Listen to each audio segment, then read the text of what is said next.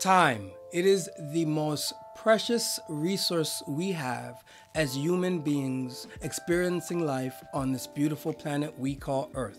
It is one of the most underutilized things I feel like modern artists that I that I view on like Instagram and on social media platform utilize. I could tell that a lot of the art that I'm looking at, it's quick.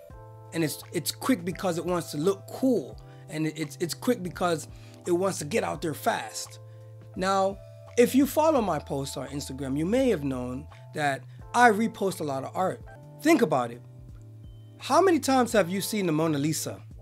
How many times have you seen the Sistine Chapel? How many times have you seen Girl with the Pearl Earring from Vermeer? How many times have you seen these paintings? Why have these paintings existed in our